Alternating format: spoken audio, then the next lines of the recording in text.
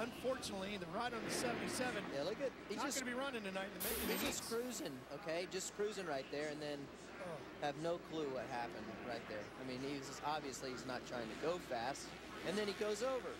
Yeah, and that wasn't the only time that he went down. So uh, he's got to be, he's got some bumps and bruises going, and uh, we won't be seeing them here.